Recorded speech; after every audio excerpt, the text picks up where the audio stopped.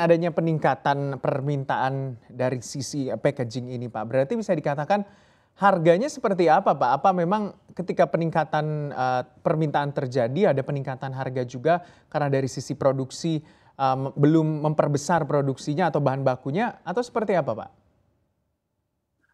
Memang belakangan ini beberapa komoditi terjadi lonjakan harga. Kalau untuk di kita karena kita mengolah kertas secara daur ulang, eh, kertas brown itu semuanya pada umumnya dibuat secara daur ulang, Pak Gibran. Tidak dari pulp, tidak dari forestry begitu gitu ya, hmm. cuman daur ulang.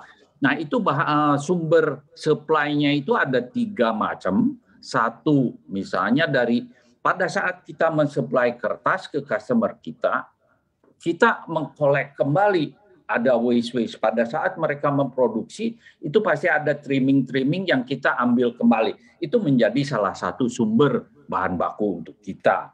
Terus kedua kita ada melakukan import. Nah kemarin importnya yang rada terganggu karena kelangkaan kontainer kesulitan shipment shipping line jadi itu agak terganggu. Nah berikutnya yang ketiga itu adalah dari uh, pengumpul ke pengepul baru supply ke kita jadi ada poin-poin pengumpulan. Jadi di setiap daerah itu ada pengumpulan mereka ada eh, orang-orang yang ditunjuklah diajak kerjasama dengan kita. Kalau untuk pasar ekspor seperti apa sendiri Pak untuk Aldo misalnya juga menyasar pasar ekspor dari hasil produksinya? Uh, terima kasih Pak Gibran. Uh, sampai sekarang kita masih fokus banyak di lokal Uh, tahun kemar tahun ini kita ada kenaikan sedikit, tapi memang kita masih konsentrasi di pasar lokal karena lokal itu demandnya masih jauh masih cukup besar. Kita belum bisa penuhi semua, jadi kita fokus. Uh, tahun depan kita akan ada pemasangan mesin kedua. By then capacity kita akan melonjak. Kita akan uh, coba ini yang sekarang kita jalin ini sebagai penjajakan buka pintu untuk kita bina network gitu Pak dengan beberapa negara uh, importir Pak. Mm-hmm.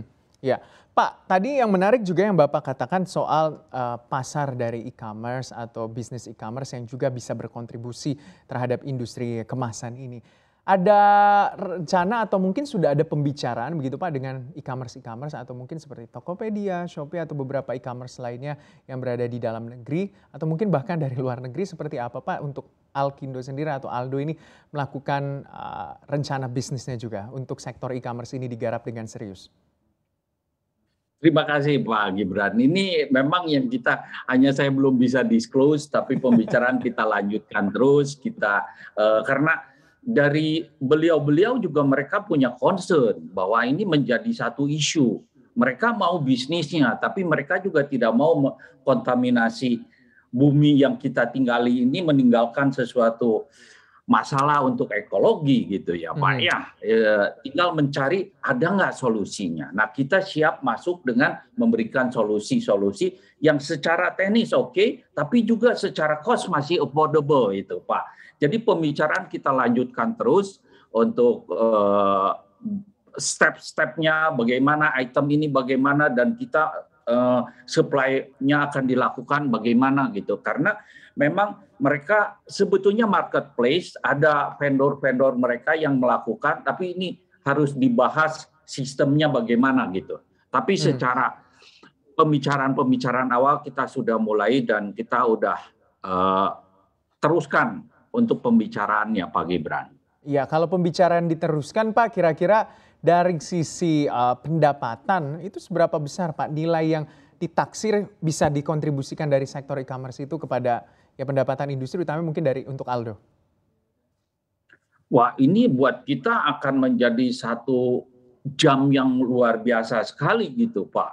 Uh, the, karena itu sekarang kita aja dalam dua tahun ini uh, tahun ini aja kita ada growth 55 persen tanpa belum bicara dengan e-commerce e-commerce itu gitu ya Pak. Begitu e-commerce itu marketplace bi belum bicara misalnya mereka melakukan law enforcement atau persuasi, tolong dikurangi pemakaian plastik-plastik yang kurang ramah lingkungan. itu langsung permintaannya jam sekali gitu ya. Jadi kita juga memang secara ini menambah kapasitas terus gitu Pak Gibran. Jadi hmm. angkanya pasti akan besar sekali untuk satu marketplace saja wah sudah besar sekali gitu.